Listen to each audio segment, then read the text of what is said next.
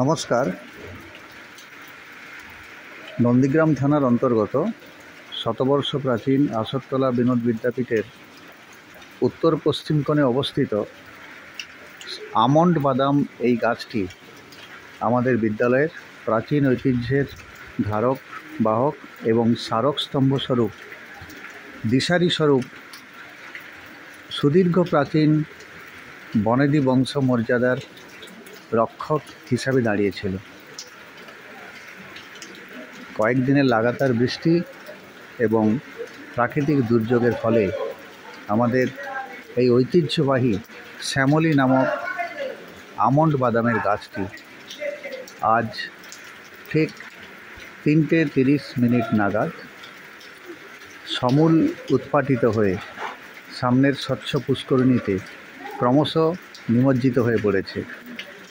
আমরা যারা বর্তমান শিক্ষক রয়েছি বা যারা প্রাক্তন হয়েছেন, তারা এই দৃশ্য দেখে প্রত্যেকেই বিষণ্ণ মন নিয়ে ভাবছেন যে আমাদের অন্তরের এক সঙ্গী যে এতদিন আমাদের ছায়া সুনিবিড় পথকে প্রশস্ত করে রেখেছিল এবং ছায়া সুশীতল স্নেহচ্ছায়া থেকে আমাদের এতদিন আগলে রেখেছিল, তাই যেন বিদায় নিল। আমরা একদিক থেকে দরদি স্নেহ ছায়া থেকে বঞ্চিত হলাম।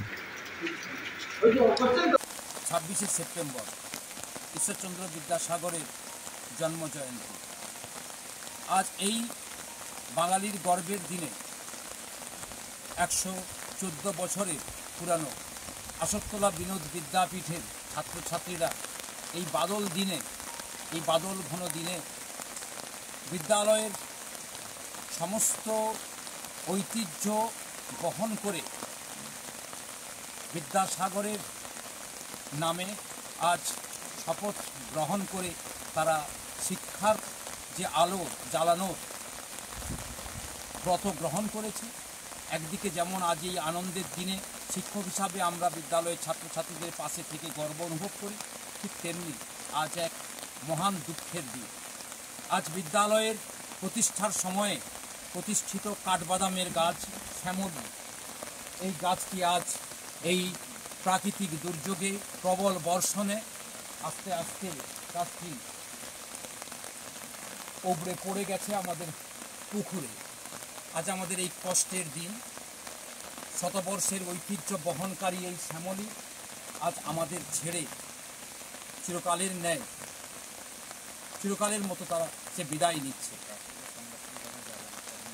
হয়তো এই গাছটিকে আমরা সংরক্ষণ সম্পূর্ণভাবে করতে পারব না, কিন্তু চাইব এই এই গাছের কিছু অংশকে আমরা সংরক্ষণ করে রাখ রাখব বিদ্যালয়ের কোনো সংরক্ষণশালাতে, যাতে ভবিষ্যতের ছাত্রছাত্রীরা বা শিক্ষক মশাইরা বিদ্যালয়ে এসে এই গাছের মহত্ব সম্বন্ধে তারা জানতে পারে বা বুঝতে পারে। জনশ্রুতি এই উদ্ভিদটা রোপিত হয়েছিল এই বিদ্যালয়ের জ্ঞানের আলো প্রজ্বলনের জন্য। বিদ্যালয়কে কেন্দ্র করে এই বৃক্ষের অনেক স্মৃতি আমরা ছাত্রও ছিলাম এই একসময় স্কুলে। এখন শিক্ষকতাও করি অনেক স্মৃতি বিজড়িত কাহিনী এই কাঠবাদামকে কাঠগাছ বাদামের গাছটিকে নিয়ে রয়েছে।